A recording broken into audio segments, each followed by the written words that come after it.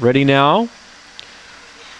And away we go. Electric Kelly began okay. Billy Blue Eyes in the centre actually won the start's going to lead Electric Kelly early by three lengths. Oren Bale rushes up to third the outside. Two and a half to Long Gully Surf. Comper Allen second last and Cash Kissed is last. Billy Blue Eyes takes them down the back, led by three. Oren Bale in second. Electric Kelly's got some work. It's four lengths away in third. Then Long Gully Surf. Comper Allen and Cash Kiss. Billy Blue Eyes still defies them by two. Oren Bale's getting closer. Billy Blue Eyes turns a length and a half. Oren Bale's coming to the outside. Billy Blue Eyes. Billy's home. Second on the outside was Oren Bale, and third was on the inside Electric Kelly, then Long Gully Surf. Comper Allen and Cash Kissed was last in. Billy Blue Eyes for John Gale.